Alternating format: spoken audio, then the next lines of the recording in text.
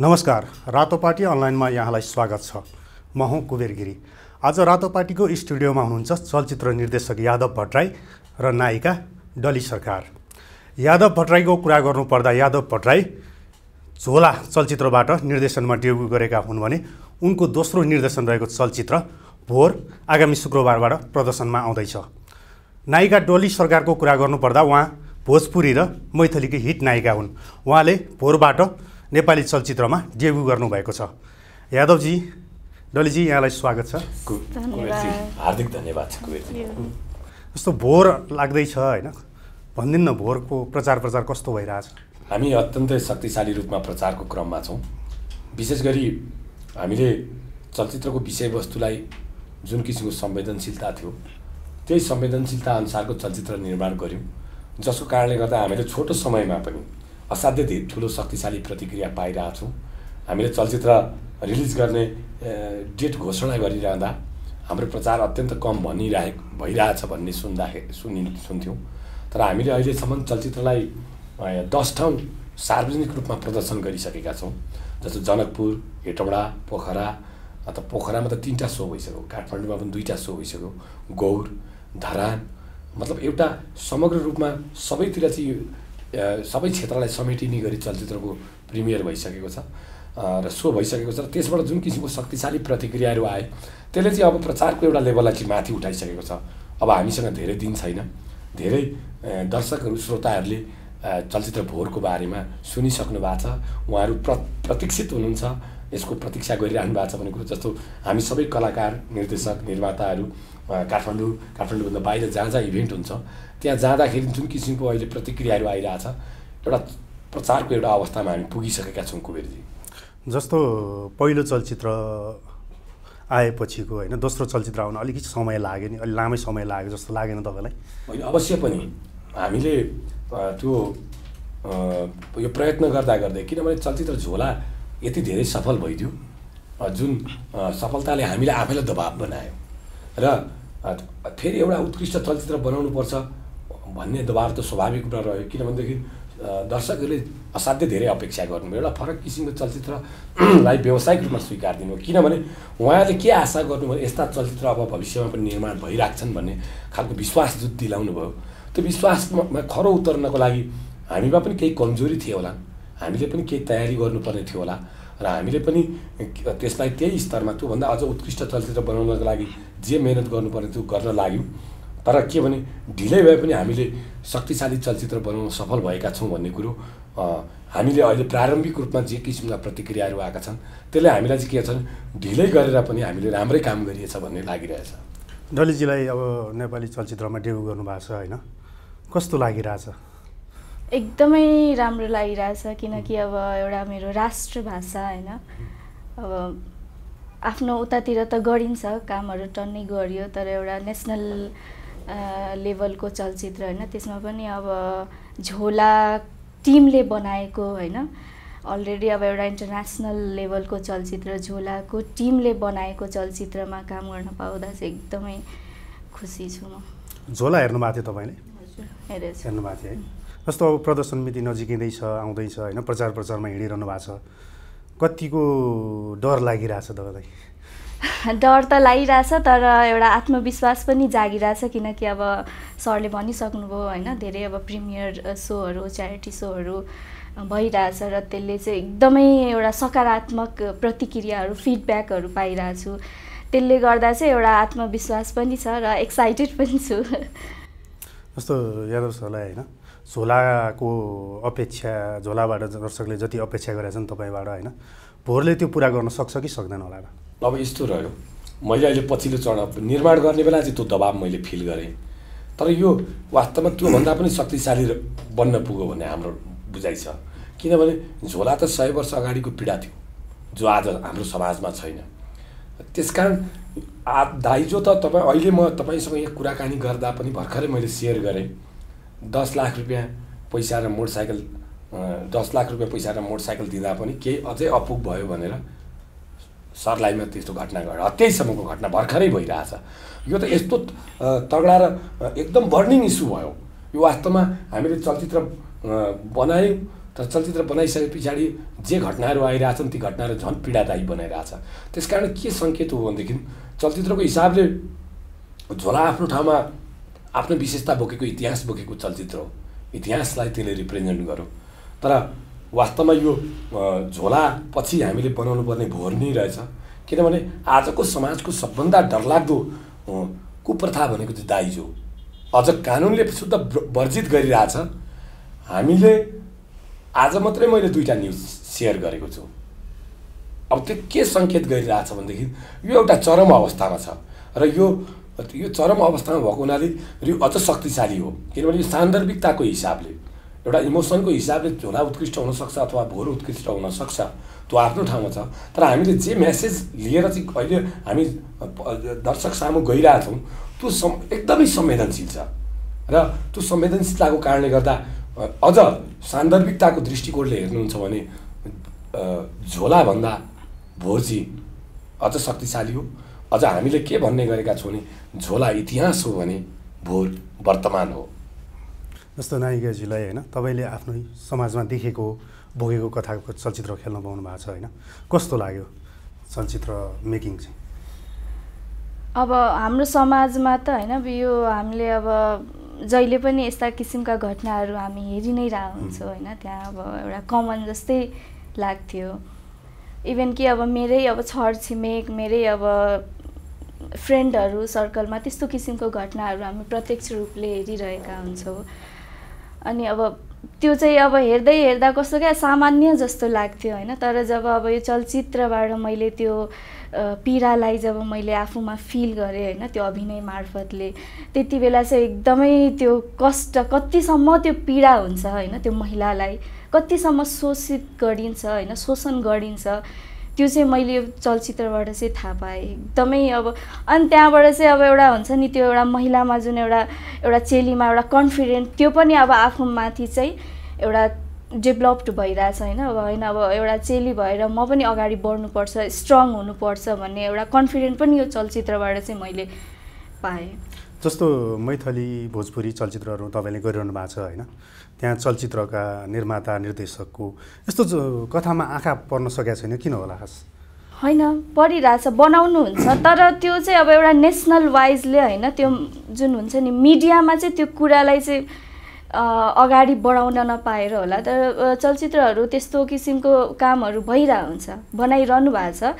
तर त्यही हो अब जस्तै अब उहाँहरूको होइन अब यो मुभीहरू जुन एउटा इन्टरनेसनल लेभलले होइन नेसनल लेभलले जुन जान्छ त्यसरी चाहिँ जान नसकेर हो। जस्तो झोलामा त अलिक चलेको कलाकार होइन नेसनल लेभलमा चलेकै कलाकार राख्नुभएको थियो। यसमा चाहिँ चलेका त्यस्ता राष्ट्रिय स्तरमा चलेका कलाकार राख्नु नभएर चर्चा अलिक कम भएको हो कि जस्तो लाग्दैन? होइन यस्तो छ। मूल रूपमा के छ भनेदेखि जस्तो हामीले झोलामा चलेकै कलाकार राखे पनि उहाँहरूलाई त्यो कलाकारको रूपमा कहिले प्रस्तुत गरिएन हामीले त्यो पात्रकै रूपमा त्यो जीवन्त पात्रकै रूपमा प्रस्तुत गरेको छौँ र त्यही कारणले गर्दा पनि झोला नयाँ स्वादको बन्यो। दर्शकहरूले अपेक्षा गरे भन्दा विशिष्ट स्वादको बनिदियो तर के हो भनेदेखि झोलामा पनि हाम्रा पात्र थिए कलाकार थिएनन् सेलिब्रिटी थिएनन् तिनका उहाँहरूको।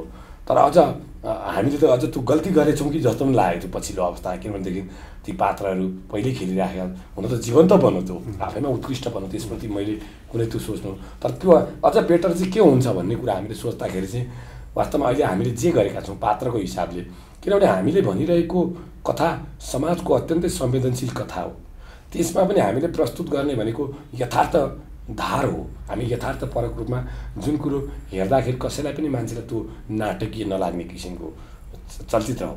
त्यसको लागि त हामीले जुन पात्रहरू जुन जुन छान्यौँ जसरी छानेका छौँ किनभनेदेखि तिनीहरूले जुन अभिनय गरेछन् जुन स्वाभाविक किसिमले लिएका छन् र भोलि दर्शकले हेर्दा पनि तिनी कुनै सेलिब्रिटी जस्तो लाग्दैन त्यो समाजकै रियल पात्र हुन् जस्तो लाग्छ। र त्यसको हाम्रो चलचित्र हामी जुन किसिमको चलचित्र बनाउँछौँ यो चलचित्र निर्माणको लागि हामीले वास्तवमा सकेसम्म नयाँ कलाकार नै प्रयोग गर्न प्रयत्न गर्नुपर्छ। त्यो गऱ्यौँ र उहाँहरूबाट उत्कृष्ट काम लिन सक्यौँ। सबभन्दा ठुलो कुरो सबभन्दा महत्त्वपूर्ण कुरो के भनेदेखि त्यो जीवन्त रूपमा उहाँहरूबाट काम लिन सक्यो। अब कलाकारहरू जस्तो डली भयो रामनारायण भयो राजेश भयो बिएन पटेल अब अरू अनिता रानी सबैले यसरी काम गरिदिनु भयो कि जब कि उहाँहरू इस्ट्याब्लिस कलाकार हुनुहुन्थ्यो त्यहाँ। अहिले पनि मिथिलाञ्चलमा उहाँहरूको नाम लिने भनेदेखि बरु राजेश समालाई चिन्न गाह्रो हुन्छ तर उहाँहरूलाई गर्वका साथ चिन्छन् प्रेम गर्छन्। किनभने उहाँहरू सक्रिय रहनुभएका मान्छे हुनुहुन्छ। हाम्रा लागि नयाँ छ। र उहाँ पनि जस्तो रामनारायण ठाकुर ठाकुर एउटा कमेडी कलाकार हो खास भन्नुहुन्छ भने उहाँका युट्युबमा सर्च गर्नु भने त्यो भेट्नुहुन्छ। तर उहाँ अत्यन्त संवेदनशील निभाउनु भएको छ। यसको मतलब के हो भने हामीले नयाँ पुराना जति पनि कलाकारहरू प्रयोग गऱ्यौँ र हाम्रो प्याटर्न पनि त्यही हो। हाम्रो सफलता पनि त्यही हो कि सेलिब्रिटी भन्दा भन्दा पनि त्यो कलाकार भन्दा पनि त्यहाँभित्र पात्र जीवन्त पात्रको रूपमा प्रस्तुत गर्नुपर्ने थियो। र आज हामीले चलचित्र एउटा राम्रो बनिरहेछ भन्ने प्रतिक्रिया आइन भन्दाखेरि कलाकारको छनौट र उहाँहरूको अभिनयको पनि हामीले चाहिँ अझ यता निर्देशक मैले चाहिँ खुलेर प्रशंसा गर्नैपर्छ र यो गलत गरिएर यो अझ यसले चाहिँ अहिले तत्काल चर्चा कम देखिए पनि भविष्यमा यसको ठुलै चर्चा हुँदै जानेछ। जस्तो उतैको कथा उतैको पात्र भयो भने अझ अभिनयमा न्याय गर्न सक्छन् भन्न खोज्नु अवश्य पनि। त्यो पनि हो। र किनभनेदेखि जबसम्म त्यो पीडाको गहिराइसम्म पुग्न सकिँदैन तबसम्म त्यो अभिव्यक्त गर्न गाह्रो हुन्छ। त्यो निर्देशक पुग्नुपर्छ कथाकार पुग्नुपर्छ पटकथा संवाद लिने मान्छे पुग्नुपर्छ छायाङ्कन गर्ने व्यक्ति पुग्नुपर्छ। अझ कलाकार त सबभन्दा बढी। किनभने हामी सबैले एफोर्ड गरेर कलाकार मार्फत नै हामीले जे भन्न खोजिरहेको त्यो भन्छौँ भनेदेखि अवश्य पनि। र उहाँहरूले म त मैले जति पनि पात्रहरू छाने चलचित्रमा अब चलचित्र आउन बाँकी छ मैले त त्यसलाई धेरै हजारौँचोटि हेरिसकेँ र म अत्यन्त सन्तुष्ट छु। जे छनौट गरियो जे निर्णय गरियो त्यो अत्यन्त सही गरिएछ भन्ने कुरो चाहिँ मलाई लागिरहेछ। डलीजीले भनिदिनु कसरी छनौटमा पर्नुभयो तपाईँ चाहिँ अब सरहरूले होइन हाम्रो भोरको युनिटले अब जब उहाँहरूले प्लान गर्नुभयो यसो अब दाइजोमाथि चलचित्र बनाउनुहुन्छ अनि त्यसपछि अब कथावस्तु हाम्रो मधेसकै थियो। अनि त्यसपछि अब उहाँहरूले सर्च गर्नुभयो अब त्यही सरले भनिसक्नुभयो होइन त्यो जीवन्त एउटा रियालिटी त्यहीँको पात्र कलाकार लिएर। अनि त्यसपछि उहाँहरूले अब सर्च गर्नुभयो अनि अब कसैले अब रेकमेन्ड गर्नुभयो यसो यसो मधेसमा हुनुहुन्छ भनेर। अनि उहाँहरूले त्यसपछि अब फेसबुकमा सर्च गरेर अनि सम्पर्क गर्नुभयो। अनि त्यहाँबाटै अब सम्पर्क भयो अनि त्यही जस्तो तपाईँलाई पहिलो अफर आयो होइन म यस्तो चलचित्र बनाउन लाग्छु तपाईँलाई लिन चाहन्छु भनेर निर्देशकजीले भन्नुभयो होइन तपाईँले के भन्नुभयो त्यो अघि? अब जब उहाँहरूको हुन त अफरहरू धेरै आउँछ होइन तर अब अब मेरो कस्तो अब काम राम्रो छ भने मात्रै गर्ने नत्र नगर्ने त्यत्तिकै बस्ने अब मेरो पनि त्यस्तै नेचर। अनि जब सरको प्रोफाइल मैले अब म्यासेज हेरेँ होइन उहाँको अनि मैले प्रोफाइल खोलेँ अनि टक्क त्यसमा अब झोला सती एक कुप्रथा भनेर मैले त्यो पोस्टर हेरेँ। त्यही त्यही पोस्टरले नै मलाई त्यो फर्स्ट एट्र्याक्ट गर्यो। अनि त्यसपछि फेरि उहाँहरूको सबै प्रोफाइल चेक गर्दै जाँदा हो यस्तो किसिमको पो चलचित्रहरू बन बनाउनुहुन्छ भनेर एउटा पोजिटिभ त्यति बेला नै होइन उहाँहरूसँग उहाँ टिमसँग चाहिँ मलाई काम गर्नै पर्छ त्यति बेला नै एउटा पोजिटिभ आयो। अनि मैले केही नसोचिकन म इन्ट्रेस्टेड छु भनेर मैले उहाँलाई म्यासेज गरेको थिएँ अनि त्यसपछि नम्बर भयो अनि त्यसरी नै आएँ। जस्तो यादवजीको होइन जुन समुदायको कथामा चलचित्र बनाउनु भयो त्यही समुदायमा गएर छायाङ्कन पनि गर्नुभयो क्या। कतिको सहज भयो? झन्झटिलो भएन असाध्यै सहज हो। वास्तवमा एउटा तपाईँलाई महत्त्वपूर्ण कुरा प्रश्न गर्छु सुटिङको कुरो मात्रै भएन। वास्तवमा हामीले म त्यहाँ सुटिङ गर्न जाँदा नै धेरैले प्रश्न उठाइसकेका थिएँ। त मधेस जस्तो ठाउँमा त्यहाँ जाँदैछस् तैँले सुटिङै कम्प्लिट गर्न गाह्रो हुन्छ। भनेर भनेका थिएँ मलाई। तर म जहिलेदेखि त्यहाँभित्र छिरेँ कहिले पनि मैले त्यस्तो कुनै पनि सङ्केत पाइनँ। यो हामी बाह्य बसेर एउटा दृष्टिकोण मात्रै बनाउँदछ यदि त्यो किसिमको सहज किसिमले त्यहाँको स्थानीय कम्युनिटीले सपोर्ट नगर्थ्यो भने एक वर्षको कथालाई रियल टाइममा यथार्थ जुन जुन समयको दृश्य हुन् त्यही त्यही समयको दृश्य हामीले खिचेर तपाईँ भन्नुहुन्छ यति धेरै पात्र छन् तपाईँले पनि चलचित्र हेरिसक्नुभयो ती सबै पात्रले हामीले प्रत्येक सेड्युलमा उहाँले समय दिनुभयो। र अब त्यहाँको सपोर्टको कुरा गर्नुहुन्छ भनेदेखि जनकपुरमा गर्व गर्नुहुन्छ उहाँहरू। त्यो सुरुदेखि नै जहिले हामीले जसलाई गरेर त्यो एप्रोच राख्यौँ सुरुमा पनि केही सङ्ख्या लागेको थियो। मधेसको सब सब्जेक्टमाथि यति संवेदन सब्जेक्टमाथि जसको कारणले गर्दा सिङ्गो मधेस बदनाम भइरहेछ दाइजोको कारणले गर्दाखेरि। त्यो त्यो डर पनि लाग्यो। तर के बोध भयो त्यहाँ पुगेपछि चाहिँ ठ्याक्कै भन्नुहुन्छ भने वास्तवमा त्यही समाज त्यो पीडाबाट छटपटिरहेको छ त्यो पीडामा छटपटिरहेछ। र जो छटपटिरहेको छ त्यसरी मुक्तिको लागि प्रयत्न गर्ने हो। र हामी त्यहाँ गइसकेपछि हामीले बोध गरेको कुरो चाहिँ के भने मधेस वास्तवमा दै दाइजोमा दाइजोबाट व्यवहारिक रूपमा मुक्तिको लागि बहुत ठुलो छटपटिरहेछ। र जति पनि घटनाहरू त्यहाँ घटिरहे हामीले चलचित्र सुटिङ गर्दा पनि ती घटनाहरू घटिरहे। घट्दा घटि घटिराख्दाखेरि अझ हामीले के बोध गऱ्यौँ भने यो त अत्यस जति हामीले बाह्यबाट हेर्दाखेरि जति सत् देखेका छौँ गहिरो देखेका छौँ त्योभन्दा धेरै संवेदनशील रहेछ। किनभने जीवन अहिले पनि घुमिरहेको छ त्यही नाममा। भनेदेखि हामीले चलचित्र अझ उत्कृष्ट बनाउनुपर्छ भन्ने कुरो भयो। र लोकल्ली तपाईँलाई म गर्वका साथ भन्छु यदि मधेसमा नभएर मैले अरूतिर एक वर्षको समय लिएर सुटिङ गर्दाखेरि जुन चुनौती भोग्नु पर्थ्यो म तर मधेसमा त्यत्तिकै सहज रूपमा काम सम्पन्न भयो। किनभने यदि सहज रूपमा चलचित्र सम्पन्न निर्माण सम्पन्न नभएको भए एउटै कुरो विचार गर्नुहोस् त यति राम्रो चलचित्र कसरी बन्थ्यो त? यो चलचित्रले पनि सङ्केत गरिरहेको छ यति राम्रो चलचित्र जे बनेको छ त्यहाँ राम्रो किसिमको वातावरण भयो त्यहाँको साथ भयो र एउटै कुरो मधेसले म दाइजोबाट दहेजबाट साह्रै ठुलो छटपट्टिका बढेको कारणले गर्दा मुक्ति खोजिरहेको छ र त्यो प्रयत्न हामी त्यो प्रयास लिएर गएको हुनाले त्यहाँबाट पूर्ण रूपमा हामीले समर्थन पायौँ। जस्तो के कारणले सम्भव छैन भनिरहेको थियो त तपाईँलाई साथीहरूले अरूले होइन? यो चाहिँ एउटा बाह्य दृष्टिकोण बनिराखेको छ। अहिले त अब त्यो कुरो धेरै कम भएर गयो। किनभने यथार्थ कुरो मधेस र पाहाड बिचमा एक किसिमको खाडल बनेकै थियो। छ छ महिनासम्म एउटा नाकाबन्दीको अवस्था गऱ्यो त्यो बाह्य शक्तिले खेलेको ठाउँमा मधेसमाथि गम्भीर भन्यो त्यहाँ समस्या छन् फेरि नभएको होइन फेरि। एकदम गम्भीर कुरो के हुन्छ भने आज दाइजो त्यहाँ किन त्यति ज्यादतीको रूपमा रहिरहेछ भन्दाखेरि त्यहाँ मधेसमा भइरहेका अन्याय अत्याचारको कारणले गर्दाखेरि चाहिँ वास्तवमा त्यहाँ देश अन्याय अत्याचार पनि हुनसक्छ। तर राज्यका जिम्मेवार निकायहरू नि त्यो त्यहाँ चाहिँ एकदम कमजोर र फितलो भयो उपस्थिति उनीहरूको एकदम फितलो देखियो। जसको कारणले गर्दाखेरि सामाजिक रूपमा त्यस्ता खालका अपराधहरू घट्नुको साटो बढिरहेको छ। एउटै कुरो राज्यले दाइजोलाई उन्मूलन गरिसकेछ राज्यलाई एउटा गैर कानुनी भनिसकेको अवस्थामा पनि खुलेआम दाइजोको कारोबार त्यहाँ भइरहेको छ। र दाइजो हुने मात्रै भएन त्यो मान्छेले दिन लिने कुरो आफ्नो अन्डरस्ट्यान्डिङ कुरो हुनसक्छ। तर दाइजोको नाममा प्रत्येक तिन घरमा मध्ये एक घरमा अहिले पनि हिंसा भइरहेछ महिलामाथि।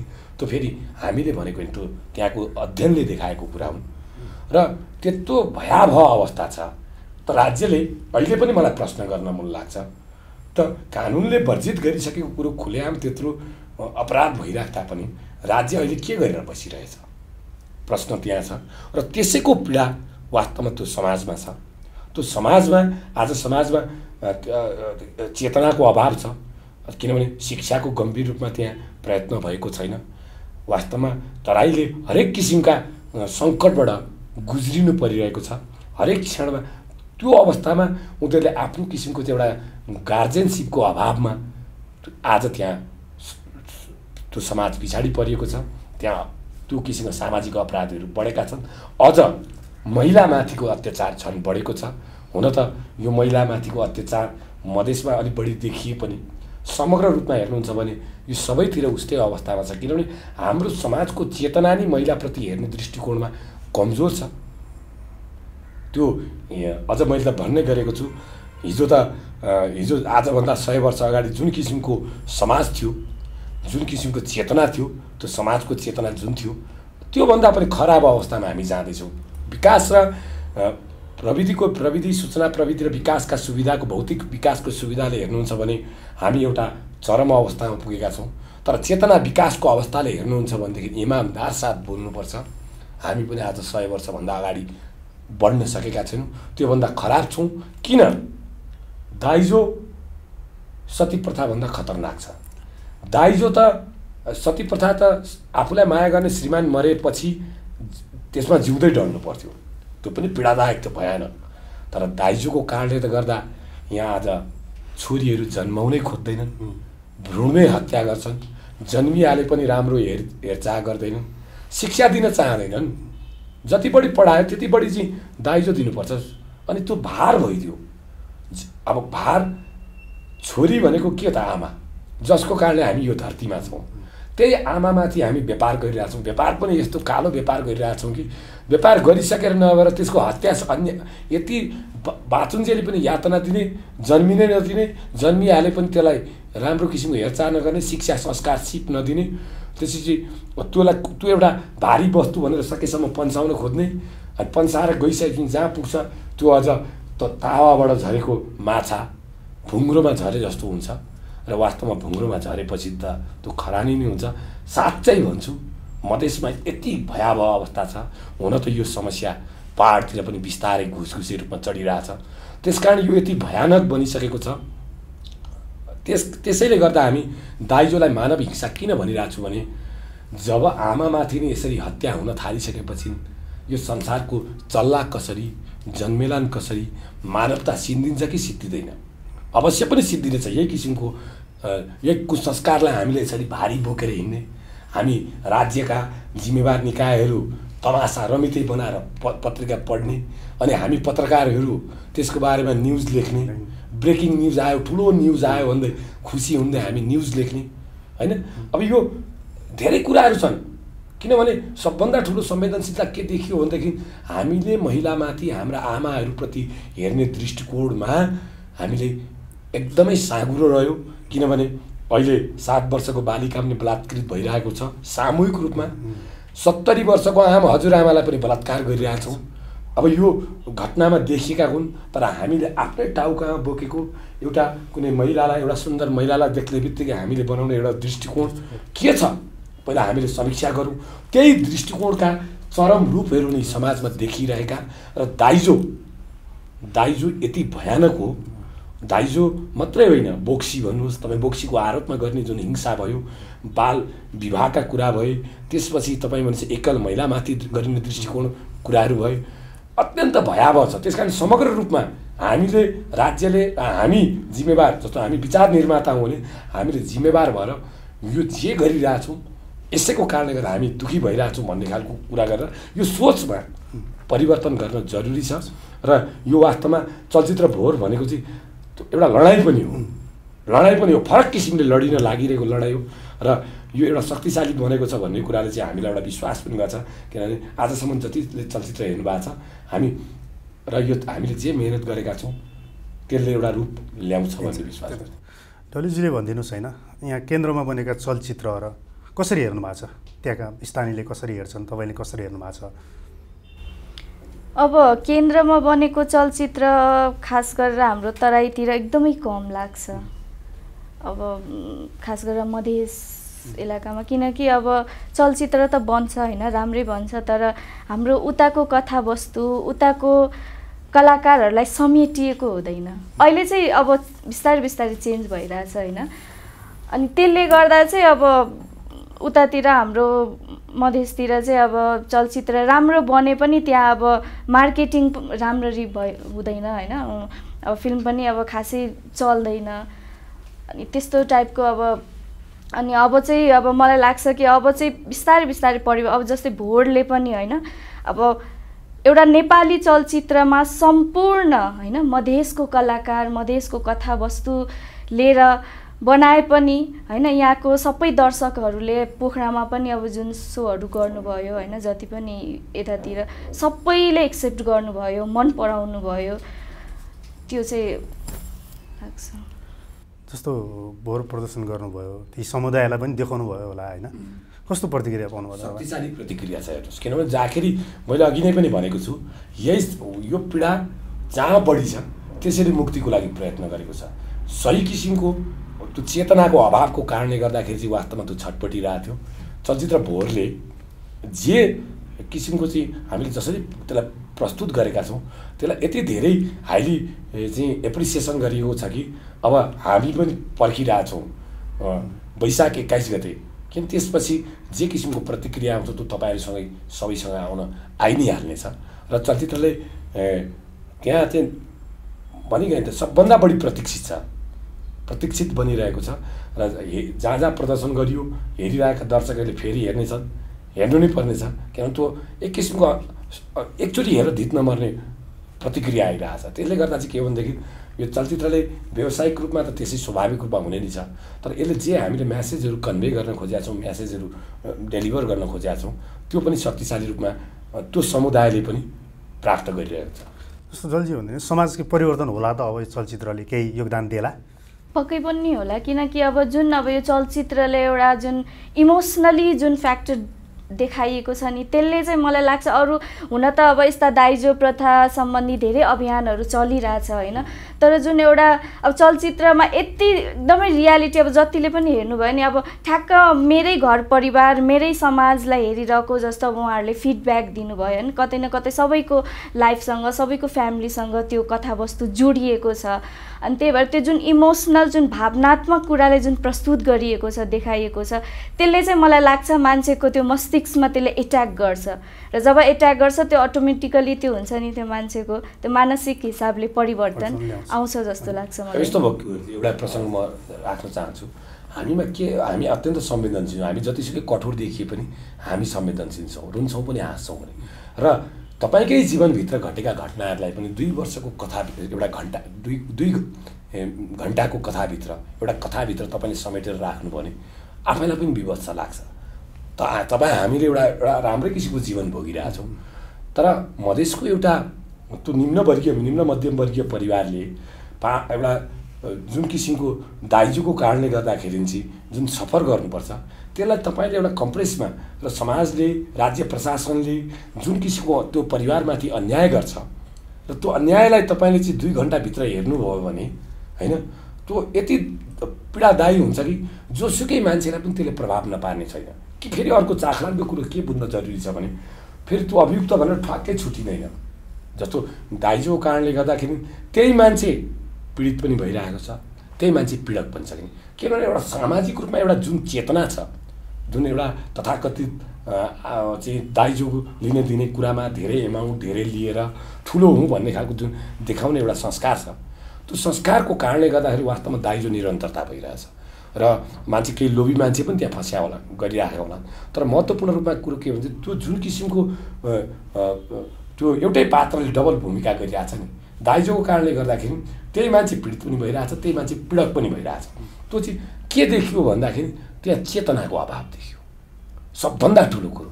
र त्यसको लागि चाहिँ त्यो चेतनाको लागि यो चाहिँ आफ्नो कारणले गर्दा हामी आफै दुःखी भइरहेछौँ भन्ने खालको। त्यसै कारणले गर्दा त्यहाँ प्रशासनले पनि खेल्न पायो भ्रष्ट प्रशासनले पनि खेल्न पायो समाजका भ्रष्ट मान्छेहरूले पनि खेल्न पाए।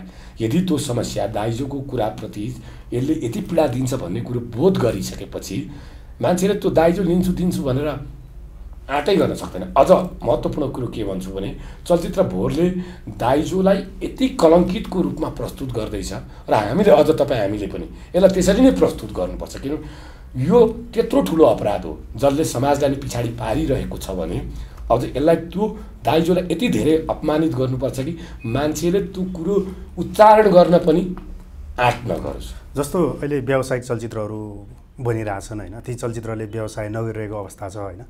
यस्ता चलचित्रले निर्माता जोगाउन सक्ला कि नसक्ला त? अवश्य पनि सक्छ नि। जब हामीले समाजको लागि यस्तो राम्रो का चलचित्र बनाएका छौँ तपाईँ एउटा तपाईँ पिक्चर तपाईँले आफूले पनि पिक्चर हेर्नुभयो। दुई घन्टाको अवधि तपाईँलाई गएको पत्तै भएन। अब त्यो अवस्था तपाईँ आखिर त्यति जीवन्त पिक्चर छ भनेदेखि त त्यो न मन नपराउने कुरै भएन। अझ त्यसले जुन सन्देश दिएको छ किनभने आखिरी हामी आमाबाटै जन्मेका हौँ हरेक मान्छेहरू। र यो आमाको पीडाको कथा हो। र आमाको पीडा मत कथा मात्रै होइन पीडाबाट मुक्तिको प्रयत्नको कथा हो भएको हुनाले यो त व्यापक रूपमा हेर्नुहुन्छ।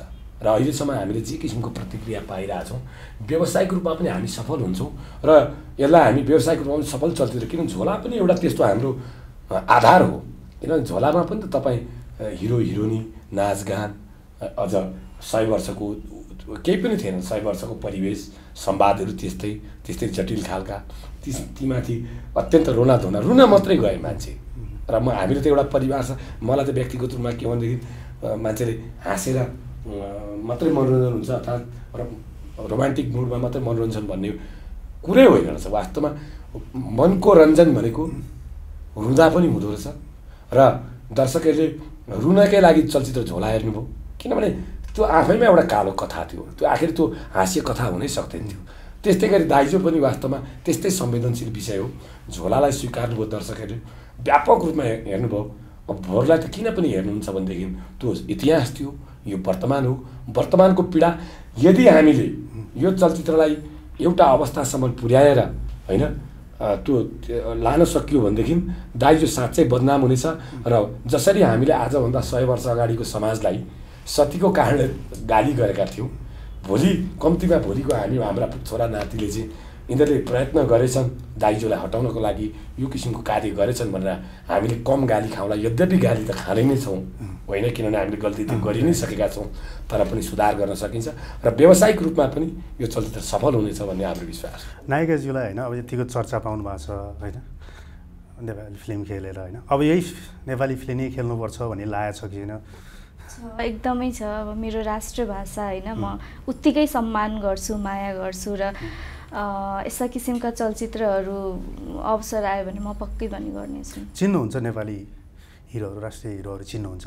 चिन्छु। को को चिन्नुहुन्छ? अब सुपरस्टार राजेश हमाल अनि भुवन केसी अहिलेको अब यङ जेनेरेसनमा प्रदीप खड्का पल्सा अनमोल केसी सौगात मल्ल निश्चल बस्ने। जस्तो चलचित्र अन्तर्राष्ट्रिय क्षेत्रमा नि जाने भन्नुभएको छ होइन बेला बेला प्रचारको समयमा होइन। के पो झोलाको जस्तै अवार्ड ल्याउला त? अब अवार्ड के ल्याउँछ भन्दा पनि त्योभन्दा शक्तिशाली रूपमा हाम्रो उपस्थिति हुनुपर्छ हाम्रो चलचित्रको निश्चितै रूपमा हामीले झोलामा पनि मिहिनेत गऱ्यौँ।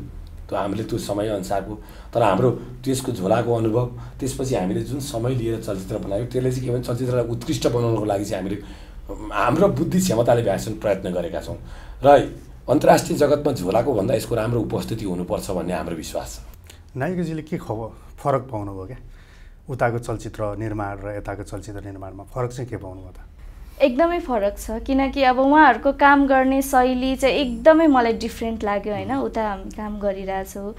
उता पनि राम्रो छ तर उहाँहरूको काम गर्ने शैली कस्तो? एकदमै अब हामीले जुन एक्टिङ पनि अब त्यसमा अभिनय गरेका छौँ एकदमै कुनै ड्रामेटिकली होइन उहाँहरूले जहिले पनि एकदमै अब मोटिभेट गर्नुहुन्थ्यो होइन। अब त्यो जीवन्त कसरी ल्याउने होइन त्यो पात्रलाई कसरी हामीले न्याय दिने त्यो जति बेला पनि एकदमै मोटिभेट गरेर त्यो रियालिटीसम्म हामी कसरी पुग्न सक्छौँ भन्ने त्यो एउटा जुन हुन्छ नि त्यो नेचुरल एक्ट हामी चाहिँ यो फिल गरेँ कि यो चलचित्रबाट।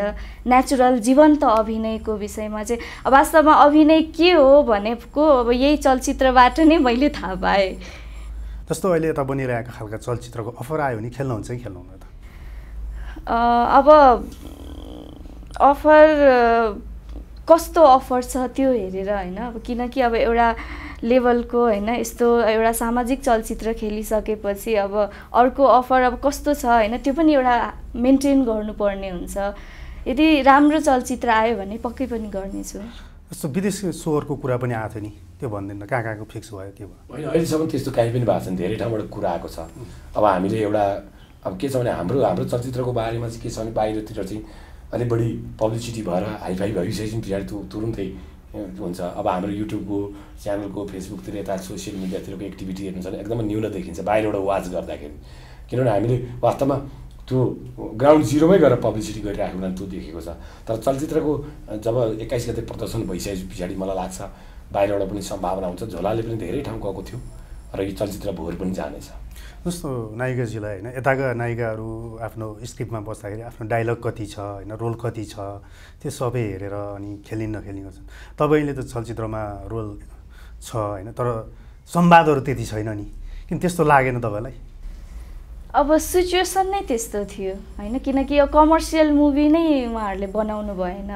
र जुन हाम्रो त्यो कथावस्तुले मागेको छ होइन? अब जरुरी छैन अब त्यो सबै कुरा हामीले त्यो डायलगबाटै होइन बोल्ने हो। कति कुरा हामीले त्यो के अरे भावले नै व्यक्त गर्न सकिन्छ भने। अर्को एउटा महत्त्वपूर्ण म यहाँ थप्न चाहन्छु कि धेरै जिज्ञासा त्यस्तो आएको छ। वास्तवमा हामीले कतै त्यस्तो रोजेका छौँ कि जहाँ महिला कम बोल्छ। मधेसमा त्यसै कम बोल्छन् महिलाको उपस्थिति कम रहन्छ। अब झन् त्यो बिए भइसकेपछि जुन हुन्छ नि त्यो बेहुली नयाँ बेहुली एकदमै कम बोल्ने खास गरेर त्यो इसाराले नै हुन्छ हुन्छ त्यो त्यो चाहिँ रियालिटी देखाएको समाजै त्यही छ। समाज त्यो भएको हुनाले त्यो डायलगै कम बोल्छ भनेदेखि त स्वाभाविक रूपमा महिला पात्रले जस्तो उसको मात्रै अन्य सबै पात्रहरूको वास्तवमा महिला पात्रहरूको डायलग चाहिँ कम छ। किनभने समाजमा उनीहरूको उपस्थिति नै त्यो कमजोर छ उनीहरूको बोली नै निस्किँदैन। होइन? निस्किहाले पनि त्यो कमजोर बोली निस्किन्छ। त्यो त्यसैले वास्तवमा त्यो समाजमा हामीले यथार्थ निकाल्दाखेरि जे देख्यौँ नि त्यही चित्रण हो। संवाद यता छोटो लामो भन्ने कुरै भएन। त्यो चाहिँ किनभने उसको त्यो क्यारेक्टरको अवस्था नि भनेको समाजमा पनि यथार्थमा पनि त्यही छ। चलचित्रमा पनि त्यसरी नै आएको यो चाहिँ वास्तवमा त्यसरी नै हामीले बुझ्नुपर्छ। जस्तै चलचित्र राजनीतिक नेताजीहरूलाई देखाउनु भयो होइन? खास किन अनि कस्तो प्रतिक्रिया पाउनु भयो? होइन वास्तवमा यो सबै कुरो देशको राजको नीति चल्ने भनेको नै नेतृत्व वर्गबाट नै हो। र एउटा के चाहिँ देखिरहेछ भनेदेखि वास्तवमा यो चलचित्र गाउँ गाउँमा लगेर देखाउनुपर्छ उहाँहरूले भन्नुभयो। त्यो अत्यन्त सकारात्मक कुरो। अझ अझ त्योभन्दा ला ठुलो कमिटमेन्ट मैले अपेक्षा गरिराखेको छु। जे उहाँहरूले चाहिँ देखाएर मात्रै भने पब्लिकलाई चेतना जगाउने कुरो त यो पिक्चरले स्वाभाविक रूपमा आफै गरिरहेको छ नि। तर राजनीतिक नेतृत्वले सरकारको नेतृत्वले के गर्नुपर्ने हो त? भन्ने कुरातिर पनि उहाँहरूले ध्यान दिनुहुन्छ। अब त्यो पक्कै पनि मलाई लाग्छ जब यो चलचित्र व्यावसायिक रूपमा चलेर जुन किसिमका सार्वजनिक रूपमा जुन प्रतिक्रियाहरू आउँछन् त्यसले उहाँलाई दबाब गर्नेछ। व्यवहारिक रूपमा दाइजोको साँच्चै व्यवहारिक रूपमा उन्मूलन हुन्छ भन्ने हाम्रो विश्वास हो र नहुन्जेली हामी त्यही रूपमा यो शक्तिशाली रूपमा यो दाइजोको विरुद्धमा हामी आक्रमण गरिरहेको किनभने यो चलचित्र हामी व्यावसायिकताको कुरो त रहँदै रहला तर हामीले जे देख्यौँ किनभने सुटिङ गर्दा गर्दै हामीले बाह्रवटा घटना चाहिँ हाम्रा आँखा अगाडि त्यहाँ हत्या भइरहेका छन्। हत्या भएको घटना देख्यौँ। जबकि त्यो वरिपरि अब त्यो हत्याको अवस्था पुग्नु भनेको त चरम अवस्था हो। त्यहाँसम्म पुग्न कति छोरी चेली बुहारीहरूले चाहिँ कति यातना भोगे होला। कति घाइते भएका होला। त्यो आफै कल्पना गरि नसक्नु छ। किनभने प्रत्येक तिन घरमध्ये एक घरमा चाहिँ दाइजोको कारणले समस्या भएको छ। भनेदेखि यो अत्यन्त संवेदनशील विषय भएको हुनाले अब यसले चाहिँ हामीलाई लाग्छ। यसले एउटा अत्यन्त प्रभावकारी बन्न सक्छ चलचित्र भन्ने। यस्तो कुराकानीको अब बिट मार्नतिर लागौँ होइन। फोहोर भनेको चाहिँ के हो त ल? यही नै हो जस्तो हामीले अहिले यत्रो भन्यौँ अहिले के गर्यौँ भने दाइजो आफैमा एउटा कालो रातको कथा हो। र हामीले चलचित्रमा पनि छठको बेलुकाबाट सुरु गरेर होल चलचित्र भएर भोलिपल्ट बिहानसम्मको बनाएको छौँ इष्टबिम्बात्मक रूपमा।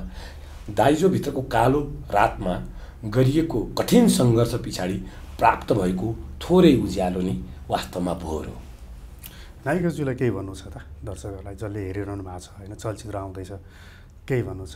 अब त्यही हो यो एउटा सामाजिक चलचि चलचित्र होइन हामीले धेरै मेहनत गरेर होइन हाम्रो समाजकै लागि बनाएका हो। कुनै अब हुन्छ नि अब कमर्सियल अब त्यो तडक भडक केही नभएर एउटा सन्देश दिनको लागि यो चलचित्र बनाइएको हो। त्यही भएर सकेसम्म यो चलचित्रलाई एकदमै हेरेर यसलाई प्रोत्साहन गरिदिनुहोस् हामीलाई प्रोत्साहन नेपाली चलचित्रलाई प्रोत्साहन गरिदिनुहोस् र जुन क- अरे त्यो मुद्दालाई उठाइएको छ दाइजो होइन यो अब एउटा के अरे महिला हिंसा नभएर एउटा मानव हिंसाकै रूपमा फैलिरहेको छ होइन त्यसको लागि चाहिँ अब हामी सबै मिलेर अब यसको अन्त्य गर्नुपर्छ होइन यसको निराकरण गर्नुपर्छ त्यसको लागि हामी सबैजना मिलेर होइन अब यस्ता किसिमका अब कार्यहरू हामी गरिरहँ होइन र खास गरेर भोरलाई चाहिँ अब एकदमै अब सपोर्ट गरेर होइन यस्ता किसिमका विकृतिहरूलाई घटाउनलाई होइन कम गर्नलाई चाहिँ म यही रिक्वेस्ट गर्न चाहन्छु।